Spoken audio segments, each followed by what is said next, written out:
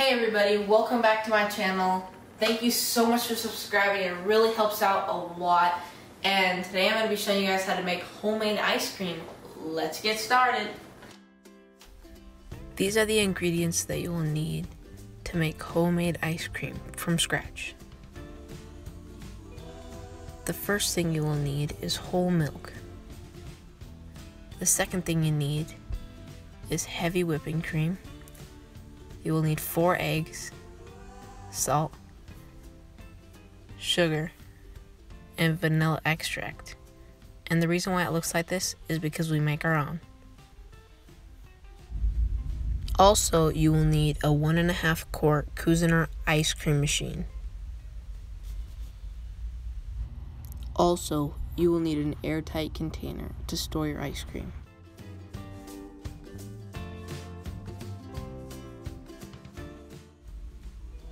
Now what I'm doing is cracking the four eggs and I'm separating them into different containers. Make sure you separate the egg yolks from the egg whites. And I will be speeding that up right now.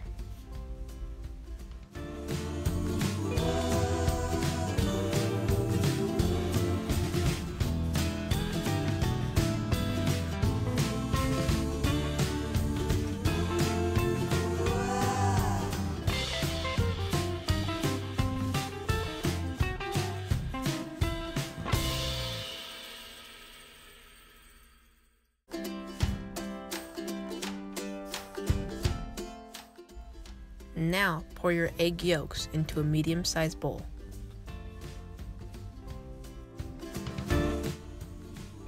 Preheat your stove top to medium high heat, then add 2 cups of heavy whipping cream. Now add 1 cup of whole milk to your saucepan.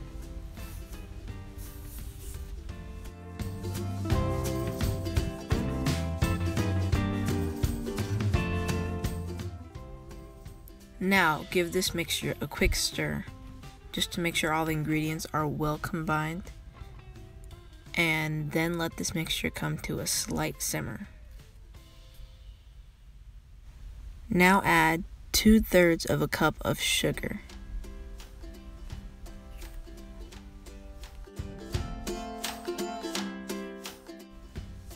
Now add 1 8th of a teaspoon of salt. Then add a tablespoon of vanilla extract. Now, whisk your ingredients together until well combined. When you know you're done mixing, it should look kind of like a cake batter consistency.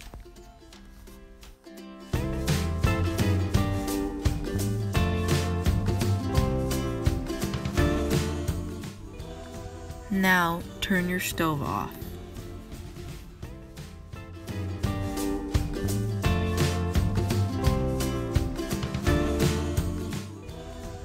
Now take your custard mixture and start pouring it into your egg mixture while whisking.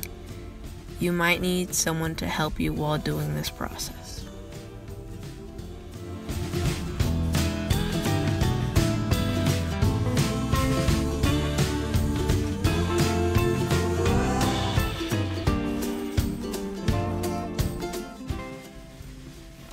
Make sure while you're whisking the custard mixture into the egg mixture, you whisk in at least three separate intervals.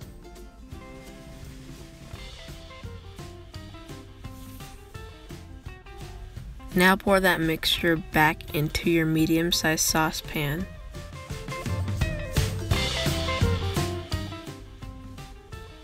Now whisk this mixture on medium low for 6 minutes or until thickened.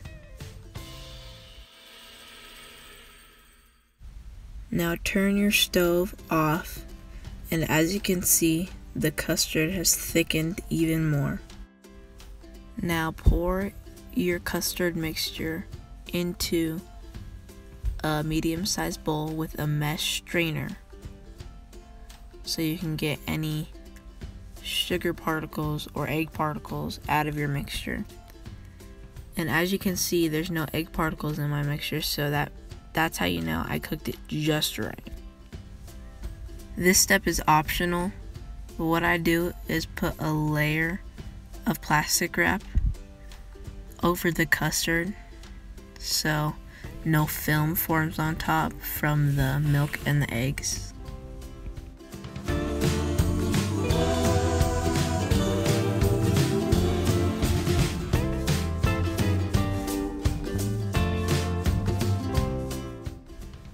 Before we put this in the fridge for 8 hours, we're going to put plastic wrap over the lid.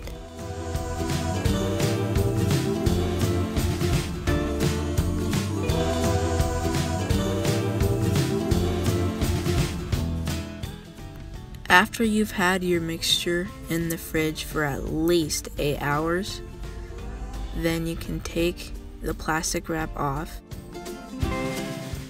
as you can see, just from having it in the fridge for 8 hours has made the custard thicken even more. And that's what we want. Now is the part that you've been waiting for. Just pour your ice cream mixture into your ice cream bowl, but make sure your bowl has been in the freezer for at least 24 hours.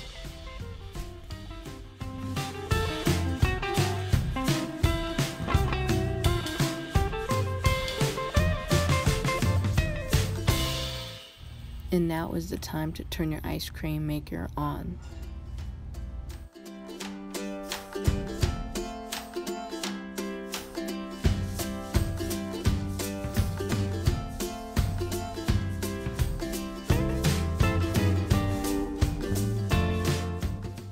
After about 12 minutes, this is the part that you can put, let's say, chocolate chips or Oreos in to make whatever kind of ice cream you want.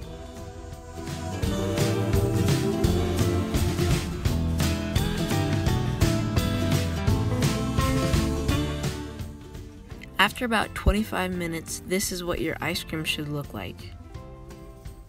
Nice, thick, and creamy. Now is the time to turn your ice cream maker off. Now remove the plastic centerpiece and scrape as much ice cream as you can off Now scrape your ice cream from your ice cream machine into your airtight container.